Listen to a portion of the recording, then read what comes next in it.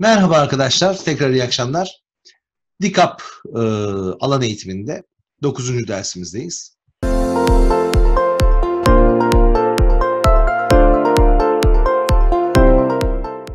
Bu dördüncü soru çözümü dersimiz. E, kaldığımız yerden devam edelim. 91. sorumuzu çözmüştük. Ben gene anlatıyorum. Arkadaşlarımızın sorusu olursa sorabilirler. Elimizden geldiğince cevap vermeye çalışırız. 92. Düşün eşleş paylaş. Kartopu, istasyon, ayrılık birleşme. Ee, din kültürü ahlak bilgisi dersinde verilen yukarıdaki etkinliklere katılan bir öğrencinin en çok ihtiyaç duyacağı beceri hangisidir diyor. Şimdi bu, bu ÖYT'de anlatılan teknikler bunların hepsi işbirlikli öğrenme tekniğidir ve işbirlikli öğrenme üzerinden iletişim becerisine ihtiyaç duyar. 93 2018 Din Kültürü ve Ahlak Bilgisi dersinde öğretmen İslam'ın temel kavramlarına, pardon, temel kaynaklarına dayanılması ve doğru çıkarımlar yapılmasını önemsemektedir. Bir öğretmenin bu beceriyi geliştirmek için yapabileceği aşağıdaki etkinliklerden hangisi daha uygun bir seçimdir diyor. Ne diyormuş bakalım? İslam'ın temel kaynaklarına dayanılması ve doğru çıkarımlar yapılması. Bu bilişsel eksenli, analiz düzeyinde bir beceri. Şimdi bilişsel eksenli demiştik. Bilişsel eksenli olduğu için konuşma halkası olmaz. Rol oynama duyusal eksenlidir. Şöyle yazalım. Bu duyusal eksenlidir. Bu duyusal eksenlidir. Demonstrasyon çocuk bir şey yapmaz gösteridir demokrasi, demonstrasyon. E, bunun doğru cevabı argümantasyondur. Benzetimde de uygulama becerileri geliştirilir. Tartışma, bir çıkarım yapma yoktur. Uygulamayı geliştirmek temel esastır. 94. 5. sınıf öğrencisi Ümit, akşam eve geldiğinde annesi ve babası uyarmadan ödevlerini yapmaya çaba göstermemektedir. Hatta anne ve babasının uyarılarını tekrar etmekte, en sonunda bazen ortam gerginleşmektedir. 2018 Din Kültürü ve Ahlak Bilgisi Öğretim Programı dikkate alındığında Ümit için geliştirilmesi gereken temel unsur hangisi? Şimdi burada bazı beceriler ve değerler verilmiş. Öz denetim, öğrencinin kendisini denetleyebilmesi, kendisini yönetebilmesi, ne zaman ders çalışacağını, ne zaman oyun oynayacağını bilebilmesidir. Ve bu konu bir değer olarak tanımlanan öz denetimle alakalıdır. 95-2018 programında aşağıda hangisi kök değer olarak tanımlanmamıştır? Adalet, dostluk, dürüstlük kök değerdir, öz denetim kök değerdir ama girişimcilik yetkinlikler arasında tanımlanmıştır. 96. Olayların keşfedilmesi falan filan diyor. Yukarıdakilerden hangileri buluş yoluyla öğretim yapan bir din kültürü ahlak bilgisi öğretmenin içeriği olabilir? Şimdi bu soru geçen sene ÖYT'de sorulan soruların esinlenerek hazırladık. Ee, neler buluşun konusu olabilir? Olaylar buluşun konusu olamaz. Olgular buluşun konusu olamaz kavramların iç yapılarının algılanması yani kavram öğretiminden bahsediyor olur. İlişkiler anlaşılabilir, çıkarıma ulaşılabilir. Bunun doğru cevabı 3, 4, 5'tir. Ee, bunu geçen sene ÖYT'de sordular. Biraz daha değişini dediler ki olgular ve olaylar. Ee, mesela Fatih Sultan Mehmet'in İstanbul'u fethetmesi olaydır. Anadolu'nun Türkleşmesi olgudur. Bunlar düşünmekle ve buldurmakla olacak şeyler değildir. Bunlar ya öğretmen hazır söyleyecek ya da öğrenci kaynaklardan araştıracak bulacak. Ya araştırma inceleme olacak ya sunum stratejisi olacak. Ama kavramların yapısının algılanması, ilişkilerin algılanması ipuçlarıyla, buluş yöntemiyle e, kazandırılabilir. 97. Din kültürü ve ahlak bilgisi eğitiminde bazı yöntem ve teknikler sınıf içinde işlenen, bazıları ise sınıf dışına taşan yapılara sahiptir. Aşağıdaki yöntemlerden hangisi sınıf dışı çalışmalara gereksinim duymaz? E şimdi örnek olay sınıf içinde başlar, sınıf içinde biter. Sözlü tarih mutlaka sınıf dışına taşar. Mesela sözlü tarih dediğimiz, diyelim ki bir çocuğun dedesiyle, dedesine geçmişteki Ramazanlar nasıl geçiyordu falan diye sorması, röportaj yapması, sınıfa sunması sözlü tarih çalışmasıdır. O mahallenin, o köyün veya o şehrin e, geçmiş dinsel tarihle ilgili çalışma yapmak, yerel din tarihi çalışmasıdır. Proje ve problem çözmede mutlaka sınıf dışına taşar, araştırma incelemedir ama örnek olay sınıf içinde başlar, sınıf içinde biter. Benzer bir soru yukarıda da çözmüştük. 98 Din kültürü ve ahlak bilgisi öğretmeni öğrencilerinde kalıp yargıları fark etme becerisini geliştirmek istemektedir. Ee, kalıp yargılar ne demek kalıp yargı? Mesela bir topluluğa, bir kavme, e, bazı insanlara karşı ön yargılar geliştirebilir çocuklar. E, mesela en tipik problemi Türkiye'de e, Suriyelilere karşı geliştirilen genellemeler vardır. Yani iyisi de vardır, kötüsü de vardır. Her millet gibi, her ulus gibi. Ama bir genelleme oluşturmak bir kalıp yargıdır. Bu kalıp yargılara karşı ne yapılabilir? Öğrencinin zihninde hangisi artık? Eleştirel düşünme. Mesela biz biraz önce ne dedik? Olaylara eleştirel bakmak. İyisi de var, kötüsü de var, şöyle de olabilir, böyle de olabilir demek eleştirel düşünmedir. 99. Hande öğretmen din kültürü ve ahlak bilgisi 5. sınıf dersinde karar verme becerisini geliştirmek adına bir etkinlik düzenlemek istemektedir. Karar verme becerisi neyle alakalıdır dersek altı şapkalı düşünmedir. Efendim karar verme becerisinde işte başlangıçta beyaz şapka, en sonunda mavi şapka ki mavi şapka değerlendiren ve karar veren şapkadır. Bir problem durumuna alternatif yollar denemek ve bu alternatiflerden, farklı bakış açılarından bir karara ulaşmak olayıyla doğrudan ilişkilidir. E, bu tür çalışmalarla ilgilidir. Alt şapkalı düşünme. Tekrar söyleyelim. Son mavi değerlendiren diğer adı da karar veren şapkadır. 100. Din kültürü ve ahlak bilgisi öğretiminde kavram, olgu ve olayların beraber harmanlanarak öğretici ve açıklayıcı metin olarak öğrenciye aktarılabilmesi aşağıdaki materyallerden hangisiyle mümkündür, uygundur diyor. Olgu ve olaylar olacak. Kavramlar olacak ve hepsi beraber olacak. Bir kere kavram haritalarında sadece kavramlar oluyor. Tablolarda açıklayıcı metin yok.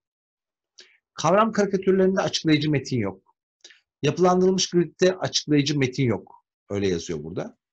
Ama bilgi haritalarında hem kavramlar vardır, hem olgular vardır, hem de açıklayıcı cümleler, yazılar. Hatta böyle 5 cümle, 10 cümle arka arkasıya yazıp açıklayıcı metin halinde sunulabilir. 101. 2018 Din Kültürü ve Ahlak Bilgisi programı dikkate alındığında bir öğretmenin aşağıdakiler hangisini yapması uygun olmaz diyor. A. Öğrencilere ilgilene çevresel olaylara ve güncellik ilkesine, ilkesine göre ders planı hazırlaması doğrudur. B. Her ünite ile ilgili konu listesi hazırlayıp ezber yaptırması yanlıştır. Böyle yaptırmayın. Nasıl yaptırın diyor. Şöyle diyor. Kazanımları bunu işledim bitirdim. Bunu işledim bitirdim yapmayın diyor. Program bunu yazıyor. Birinci ile ikinci olabilir. Birinci ile üçüncü olabilir. Başka bir öğretmen de beşinci ile üçüncü olabilir. Yanına farklı öğretmenler farklı değerler, beceriler ekleyerek her öğretmen farklı bir harmanlama yapabilir diyor. Mesela Likap alan eğitiminde benim anlatışım farklıdır, başka bir öğretmenin anlatışı farklıdır. Siz burada geçmiş tecrübelerinizle, deneyimlerinizle nasıl daha iyi anladıklarını organize ederek bir ders planı hazırlayın diyor. Ezberde yaptırmayın, kavramayı esas alın diyor. Öğrenme alanları arasında bağlantılar kurulması e, doğrudur. Kök değerlerle kazanımların ilişkilendirilmesi, kazanımlarla yetkilerin ilişkilendirilmesi doğrudur. Sadece B yanlıştır. 102. 2018 Din Kültürü ve Ahlak Bilgisi Öğretim Programı'nın en üst temel çatısı ve ana belirlisi hangisidir? E, bu bilgi düzeyinde bir soru. Derslerimizde anlatmıştık. Bütün derslerin en üst çatısı, bütün derslerde aynıdır. Anaokulunda, ortaokulda, ilkokulda, lisede 1739 sayılı kanundur. Ona e, atıfta bulunur ve onu temel alır. 103. Serap öğretmen din kültürü ve ahlak bilgisi dersinde hazır bilgileri sunmak yerine kazanımla ilişkili olduğunu düşündüğü bir problem senaryosu ile derse başlamak ve öğrencilerin sorunla ilgili fikirlerini irdelemektedir, irdelenmektedir. Yanlış yazmışız. Öğrencilerin sorunla ilgili fikirlerini irdelemektedir. Öğretmenin uygulaması ile ilgili aşağıda hangisi yanlıştır? A.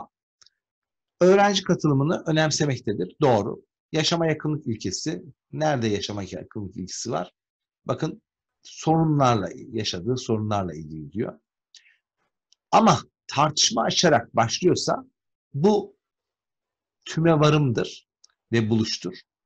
Oysa şurada C'de bahsedilen bütün parça bütün ilişkisi tümden gelimdir. Öğrenci ön bilgilerini önemsemesi doğru. İhtiyaç duyması olası bilgileri kazandırmak doğru. 104. Efendim yukarıdakilerden hangileri din kültürü ve ahlak bilgisi öğretiminde anlamlı öğrenmenin işe koşulmasını kolaylaştırır? Anlamlı öğrenme sunuş stratejisiydi. Anlamlı öğrenmede üç boyutlu materyaller, örneğin üç boyutlu materyal e, derken e, modellerden bahsediyoruz. Kullanılabilir mi? Kullanılır. Açıklık ilkesi katkı sağlar. Öğrenci ön bilgilerinin yeni kazanımlar için zemin oluşturmasına katkı sağlar. 105.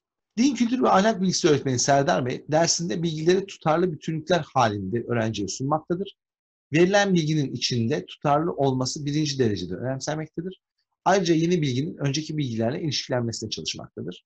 Serdar öğretmenin ders işleme biçimi aşağıdakiler hangisine benzemektedir diyor. Tutarlı bütünlükler kafa karıştırmadan demektir. Kafa karıştırmadan öğretmek sunuş stratejisi ve anlamlı öğrenmeyle alakalıdır.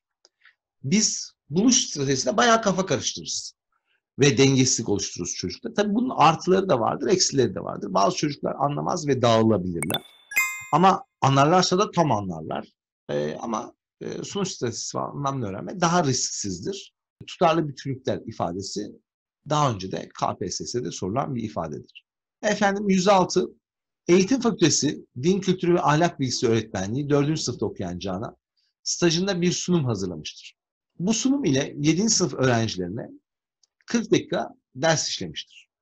Ancak danışman öğretmeni anlamlı öğrenmeye dayalı olan bu ders sunumunda bazı eleştiriler ortaya koymuştur. Şimdi anlamlı öğrenme sunuş stratejisiydi. Aşağıdaki hangisi danışman öğretmenin eleştirilerinden birisi olamaz diyor. Şimdi öğretmen A'da öğrencilerle iletişim ve ilişki tersi olmasını eleştirebilir mi? Eleştirebilir.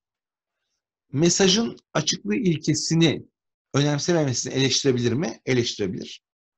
İlkeleri anlatmadan öğrenciye varsayımsal düşünme üretmek için sorular sunmasını eleştirir. Çünkü tartışma açmayacak, hazır bilgi sunacak. Kavramları açıklarken doğru örneklerin yanında örnek olmayanları da vermesi eleştirilemez. Çünkü anlamlı öğrenmede hem kavramın doğrusu hem de yanlış anlaşılanları ve kavramın ayırt edilmesi için örnek olmayanlar da verilir. Beden dilini etkili kullanamaması da eleştirilebilecek bir noktadır. 107. Din kültürü ve ahlak bilgisi öğretmeni Selim Bey, Allah'ın kulu ve elçisi Hazreti Muhammed ünitesi ile ilgili bilgileri anlamlı öğrenme yaklaşımıyla ve tümden gelim metodu kullanarak vermektedir. Bu yaklaşımda tümden gelim vurgusu aşağıda hangisiyle ilgilidir? Tüm örnekleri öğretmenin vermesi hayır. Sonda öğretmen denetlemek için örnek isteyebilir. İlkelere öğrencilerin ulaşması hayır. İlkeler hazır olarak sunuş stratejisinde öğretmen tarafından verilir. C. Tüm kavramların örnekleriyle hatırlama düzeyinde öğrenilmesi hayır. Hatırlamayı aşarak kavramaya ulaşmak temel amaçtır. Sunuş stratejisinde ve anlamlı öğrenmede. Tüm etkinlikleri öğrencilerin yapması burada daha çok öğretmen aktiftir. Tüm ilke ve bağlantıları örneklerden önce hazır olarak tümden gelimle vermesi doğrudur. Hazır kalıp şemayı verdikten sonra e, tümden gelim diyelim. Onun detaylarına girer. 108 Din kültürü ve ahlak bilgisi öğretmeni Elif Hanım anlamlı öğrenme yaklaşımında ders girişiminde ön organize ediciler kullanmaktadır. Ön organize edici dediğimiz şey mesela İslam dininin kaynakları ile ilgili bir kavram haritası oluşturmak bir ön organize edicidir. Öğretmenin kullandığı ön organize edicilerin temel işlevi nedir diye soruyor. Bakalım neler demişiz.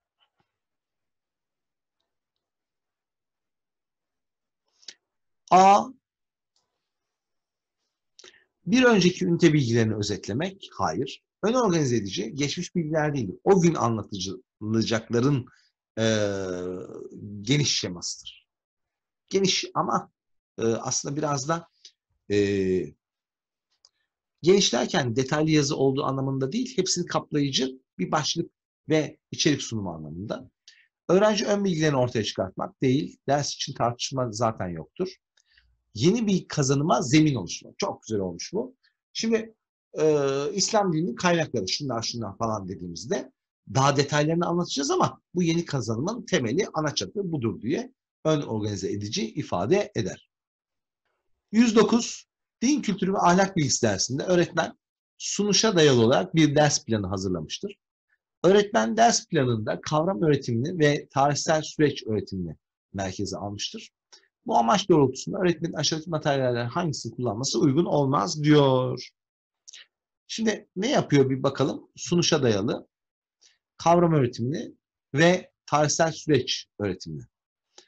Şimdi şunu söylemiştik. Sunuş seçiyorsak kavram karikatürü buluşa dayalıydı demiştik. Bakın kavram karikatürü kötü bir şey değildir. İyi bir tekniktir. Sunuş da kötü değildir. Ama sunuş stratejisiyle kavram karikatürü uyuşumlu değildir. Daha önceki sorularda da söylemiştik. Benzer bir soru olmuş. 110 2018 Din Kültürü ve Ahlak Bilgisi Öğretim Programı'nın kazanım yapısı ile ilgili aşağıdaki hangisi yanlıştır? Bilgisayar kazanımlara yer verilmiştir. Doğru. Duysal kazanımlara yer verilmiştir. Doğru. Değerler öğretimine yer verilmiştir. Doğru. Bazı kazanımlar duysal ve bilişsel bileşenler ilişkilendirilmiştir. Aynen öyle. Mesela e, iyi ahlakın e, mantığını anlar, bunu hayatına uygular diyor. Burada hem bilişsel hem de duysal ilişkilendirmeler var. Bazı kazanımların hangi öğretim yöntemleriyle işlenmesi gerektiği belirtilmiş ve açıklanmıştır. Hayır. Programı incelersek e, şu kazanımı şununla işleyeceksin, yöntem şunu kullanacaksın demiyor. Böyle bir şeyin demediğini görürüz. 111.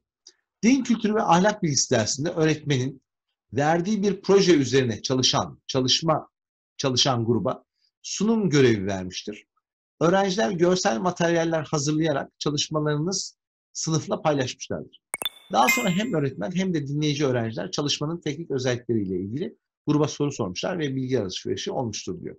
Yukarıdaki sunum ve ardından yapılan değerlendirme e, süreci aşağıdaki tartışma tekniklerinden en çok hangisine benzer diyor. Şimdi bu da daha önce 2014'te yanılıyor olabilirim 2015'te olabilir. ÖYT'de eğitim bilimlerine soruldu. Daha sonra coğrafya ÖABT'de soruldu. Sosyal bilgiler ÖABT'de soruldu. Yani ÖABT'lerde de sorulabilen bir şey. Burada doğru cevap seminerdir. Ee, şuna dikkat edelim. Öğrencilerin bir proje gibi çalışmayı hazırlanması, sonrasında da sunulması, en sonunda da tartışılması seminer olarak tanımlandı. Üç defa ÖSYM tarafından. Ki bilimsel kaynaklara göre de doğru. Din kültürü ve ahlak bilgisi dersinde öğretmen aşağıdaki amaçlara dayalı olarak bir etkinlik planlamak istemektedir. İki grubun tartışmasına dayanır. Gruplar birbirlerine soru sorabilirler. Ön hazırlık gerektirir. İkna etmek bilimsel olarak doğru olmaktan daha etkili olabilir. Kazanma ve kaybetme söz konusudur. Çok ipucu vermiş. Bu durum münazaradır. Neden münazaradır? Gruplar birbirine soru soracak. Ee, tabii soru sorma birbirlerine gruplar arasında. Zıt panelde var bir de münazarada var. Bir de şunu söylüyor. Zaten zıt paneli vermemiş. İkna etmek bilimsel olarak doğru olmaktan daha etkilidir diyor. Bu da münazaranın temel özelliğidir. Jüriyi ikna etmek önemlidir. Tartışmayı kazanmak için. Zaten puanlama yapılıp bir kazanan kaybeden olan tek tartışma tekniği de budur zaten. 113.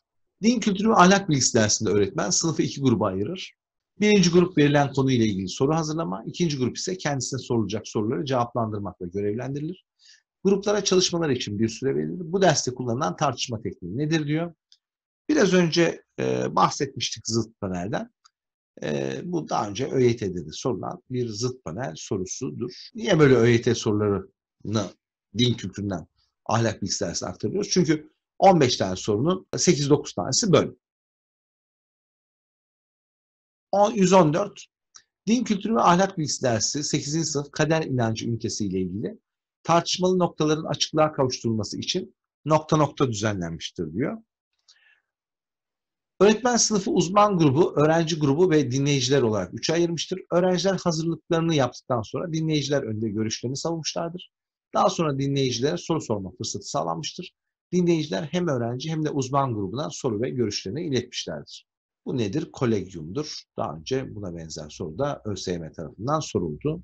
114'te bahsedilen durum. Uzman gruplar e, uzman grubuyla grup tartışıyor. Kolegyumdur. 115 Din kültürü ve ahlak bilgisi öğretmeni televizyonlarda düzenlenen tartışma programlarına benzer bir etkinliği sınıf ortamında oluşturmuştur. Zekat ve sadaka konusuyla ilgili bir başkan ve konuşmacılar kendi fikirlerini söylemişler. Ancak standart konuşma sürelerine dayanmayan tartışmada genellikle konuşmacılar birbirlerinin tezlerine atıfta bulunarak kendi düşüncelerini ispat etmeye, karşı düşünceleri çürütmeye çalışmışlardır. Yukarıdaki paragrafta hangi tartışma tekniği örneklendirilmiştir diyor. E, bu açık oturumdur. Daha önce de buna benzer bir soru soruldu ÖSYM tarafından.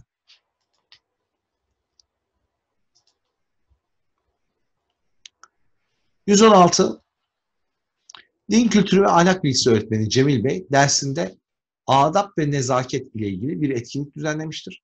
Bu etkinlikte öğretmen konu hakkında farklı fikirleri olan 3 öğrenciyi seçmiş ve birikimlerini, bakış açılarını paylaşmalarını istemiştir.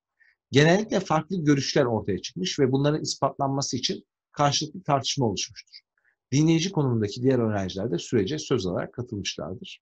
Burada da farklı fikirleri, farklı bakış açıları dediği için daha önce konuşmuştuk buna benzer bir soruyu, forumdur. Oysa aynı konunun alt başlıkları paylaşılıp anlatılmıştır deseydi panele giderdik. 117. Din kültürü ve ahlak bilgisi öğretiminde kullanılabilen bu teknikte belirli bir konudaki sorunları çözmek veya kalite göstergelerini yükseltmek için uzmanların bir veya birkaç oturum boyunca çözüm aramaları söz konusudur. Ancak bu yöntem eğitim durumları içinde uzman kişiler yerine uzman rolü oynayan öğrenciler tarafından da yapılabilir. Böylece öğrenciler sosyal bilimci gibi çalışmayı öğrenirler. Bu tür etkinliklerde sorun veya çalışma konusu önceden belirlenir. Uzmanlar konunun farklı yönlerine hakim kişilerdir. Bu kişilerin fikir alışverişi tek başlarına yürütecekleri fikirlerin toplamından daha fazla bir yaratıcılık ve gelişim enerjisi oluşturur diyor. Şimdi bu çalıştaydır. Çalıştayın diğer adı workshop'tır. Bu nedir biraz bahsedelim. ÖSYM'de buna benzer soru sordum. Bir kere bir kere de başlayıp biten değil, birkaç oturum süren bir çalışmadır. Bir problem durumu olacak. Bu problem durumuyla ilgili oturumlar düzenlenecek ve çözüm önerileri aranacak. Din kültürü ve ahlak bilgisi dersinde analoji ve metafor tekniği kullanılabilir. Analoji ve metaforların temel kullanım amacı aşağıdakilerden hangisidir? Mesela e, fende kullanılır, dikapta kullanılabilir. Ondan sonra ne için kullanırız biz analojiyi? Kavramları öğretmek için kullanırız. Kavram öğretiminde kullanırız. 119. 12 yaşındaki Serhan din kültürü ve ahlak bilgisi dersinde öğretmen Mekke, Medine ile ilgili soru sorduğunda ellerini kullanarak bu şehirlerin yerlerini havada hayali bir harita göstererek mesela şu, şu şurada, şu şurada falan diyor. Hayali bir harita göstererek soruya yanıt vermiştir. Serhan'ın el hareketlerini öğretmenin dikkatini çekmiştir. Öğretmen Hicaz bölgesi ve Habeşistan'ın konumuyla ilgili bazı şeyler sorunca Serkan sanki önünde harita varmış gibi doğru cevap vermiştir. E şimdi bu Serkan nasıl böyle bir beceri geliştiriyor?